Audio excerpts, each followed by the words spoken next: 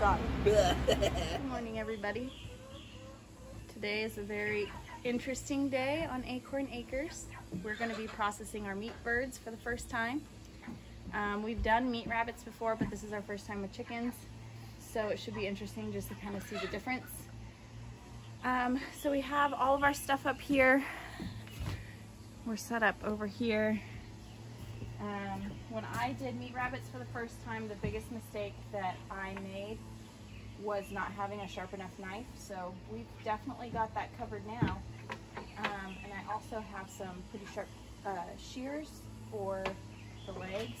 Um, and then we've got our bucket over here for the innards and feathers. Um, we have our kill cone that we made out of a plastic jug. We just cut the bottom out and then the top. So you'll just stick the bird in this way with their head out. And then my sweet husband is going to be the mercenary today.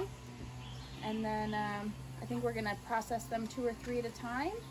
We've got 17 birds total, so um, should go fairly quickly.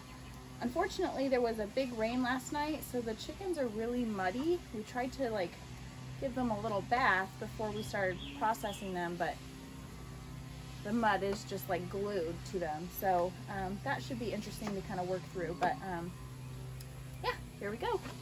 Okay, so we just did our first bird, just the um, dispatching, and we couldn't get the breast of the bird like the breast was getting stuck here and the neck wasn't getting through the hole long enough. I don't know if it's just because our birds are so thick, but we heard that this was like a good idea as far as the cone. I don't know, it just didn't work for us, so we ended up getting the pellet gun out and we're using that method of dispatch. Okay, so we've got about six more birds to do. We didn't film the first couple birds because we were kind of just trying to figure out what we were doing. Um, we obviously had to switch our plan up a little bit because our makeshift kill cone didn't work. So we have been using the pellet gun and that has been working pretty good. Um, the, the most effective way we've found with the pellet gun is to shoot from the side um, and that seems to do the trick on the first try. Um, and like straight back from the eyes. Straight back from the eyes. Yeah. Um, so yeah, we've got our feet soaking over here, um, just in water just to kind of loosen up any dirt on them so I can scrub them really good before I boil them up for the dogs. And then we've got all of our um, livers and parts in here that we're going to use for fishing. Um, I would say that the, what are these knives called, babe, that you got? It was like fillet knives. Fillet knives for fishing. When Tom went to the store and asked the guy, he said, I you was know, looking for a buck knife, and then they were basically sold out, and needed something really thin and long. And I went to Walmart and I got these at two pack for four bucks. and they're pretty sharp. Very sharp, and they cut through bone. And cartilage really good. The best part is, is that they're long and thin, so that you can get into the tight spaces and get the tendons cut where you need them. We haven't need the needed the chicken shear or the kitchen shears at all, um, which I was kind of surprised. But yeah, so we'll go ahead and just show you what we're doing here. The chickens, like I said, are really quite dirty. Great yesterday, got us good. At first we were trying to hose them off and kind of clean them before we started, but it didn't really seem to matter, and it was stressing them out too much. So we just kind of ixnayed that, and we'll just have to make sure we really clean the meat really well. Um, I think next time I'd get some kind of like butchering gloves, Yeah, it's good. latex, maybe. No, I just feel like latex. I don't, know. I think I would have ripped it by now. if I was I a definitely kid. think this is latex. But I didn't think about gloves at all originally. I don't think I was the first one gonna use gloves. I don't think I will either. But we're skinning them rather than plucking them as you can see. So we're just cutting off the appendages first and then the skin kind of just peels off. did get a fan out here, which has been useful keeping the flies away. And I've got a weak stomach and I keep dry heaving. So it's kind of keeping this, like the hot smell of meat or blood. Yeah, you Out of my nose. blood. Tom hasn't had any issues with that first chicken. I was like, I don't know if I can do this. I just kept dry heaving. And then they keep pooping on me. Yep. You are the poop target. The poop target.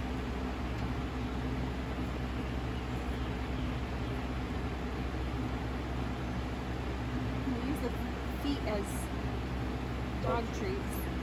Dogs love them. We haven't done chicken yet. We've used them on Pheasants. pheasants. We've My done dogs pheasants. love pheasants. This is our first time ever processing chicken, so I mean, if you could do something different the next time, what would you do? Get a kill coach, Yeah, probably make it easier. Just because like an actual. I think a need pellet. a large. shooting a pellet gun at them isn't ideal. But like these are these chickens aren't used to being around people, so they're so they're very much so like satanic. Yeah. Well, because we didn't want to be We don't want attached to them, to them. Yeah. so we didn't really handle them a lot. So yeah, catching them was okay, except they, like Tom said, they panic. And then they poop on you.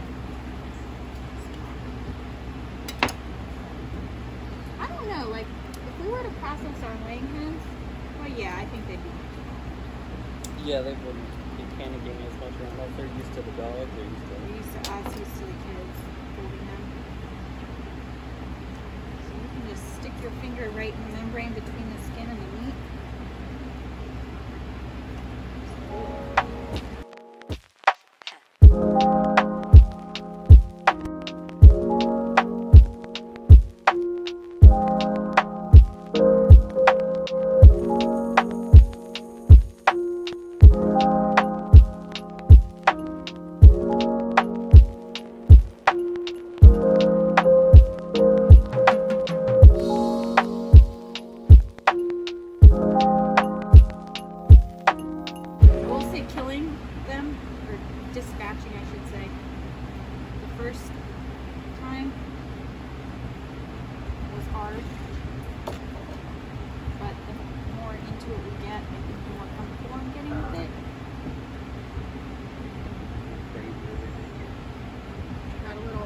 ambitious.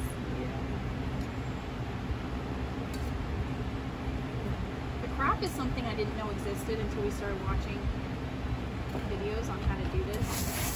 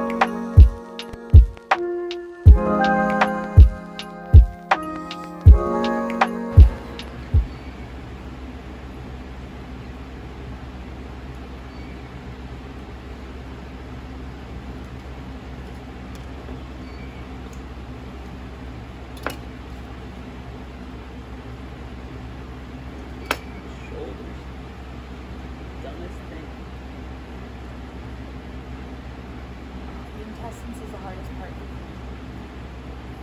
Shoulders.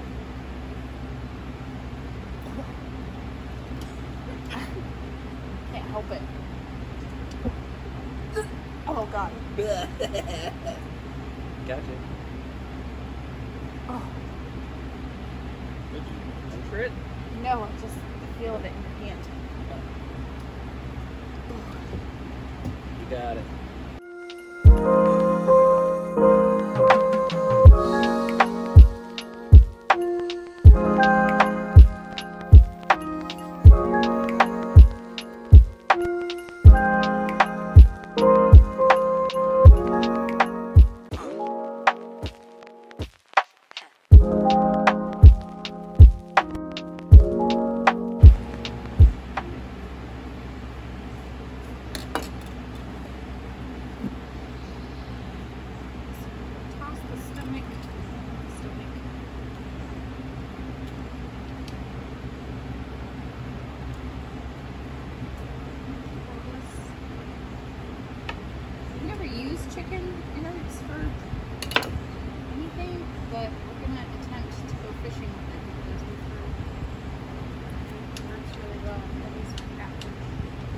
Fine.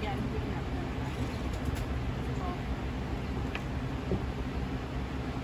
Trial and error. We're figuring it out. second guessing what I just threw out? No, it splashed on my leg. Oh, sorry.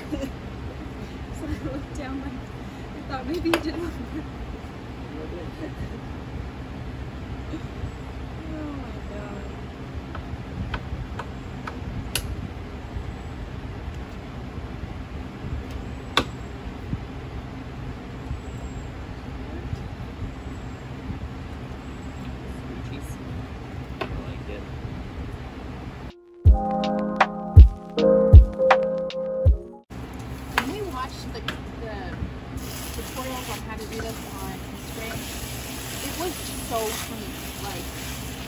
I didn't have a hose, can't have anything. You just, Well, he did it on top of his pants and he was only doing one.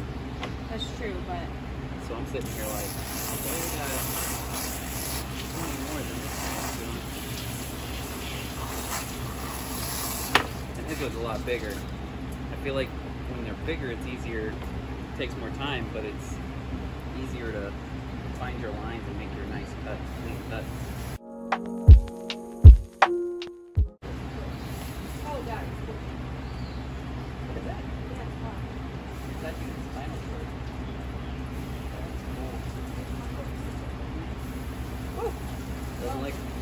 doesn't like the cold, babe.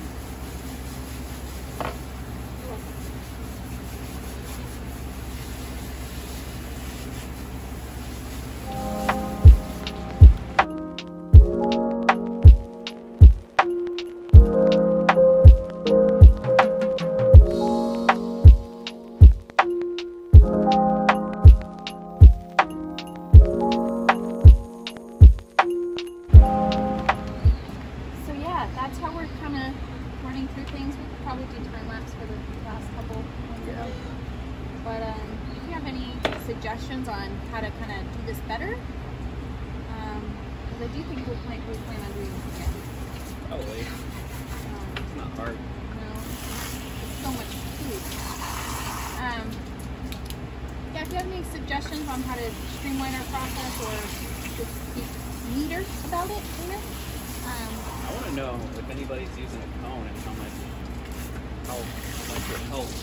Yeah, I would honestly like to see a tutorial on how to even just put the chicken in the cone because we were trying to put it like in here Ours are and too big for that. well, yeah, but we couldn't figure out like why it wasn't working. But their chest was getting stuck like way back here, and their neck wasn't long enough to come out. Like just their head or their eyes. This was like at eye level. So I think we'll have to end up getting like a medium and large cone just to make sure we're covered on all of the chickens because not they're not all that big. Yeah. Um, but yeah, maybe we end up getting a coco cone. Maybe we'll do a tutorial on that once we figure it out. You know, but We're not pros. no, we're learning.